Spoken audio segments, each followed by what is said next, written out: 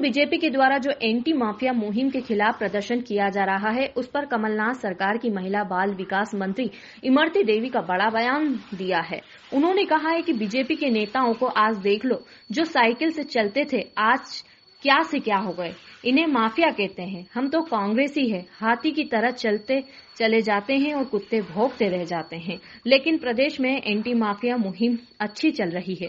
हर तरह के माफियाओं पर कार्रवाई की जा रही है। दरअसल इमरती का ये गुस्सा बीजेपी के ग्वालियर में प्रदर्शन पर है क्योंकि बीजेपी के प्रदर्शन में नारेबाजी की जा रही है जिसमें कहा जा रहा था कि सिंधिया माफिया है जिस पर इमरती ने पलटवार किया है।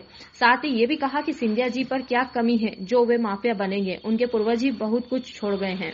बीजेपी ने प्रदर्शन किया इस दौरान सिंधिया जी को माफिया बताते हुए उनके खिलाफ कार्रवाई की मांग की है। ये तो आप भी जानते हो कि माफिया कौन है और माफिया कौन नन्ना सिंधिया जी को क्या कमी है तो वो माफिया बनेंगे। मुख्यमंत्री कमलनाथ जी को क्या कमी है कि वो माफिया बनेंगे? माफिया तो आप ग्वालियर में देख लो जहाँ देखो बीजेपी के नेतन को देख लो कि साइकिल पे से कहाँ पहुँचे। माफिया तो उनको कहते हैं।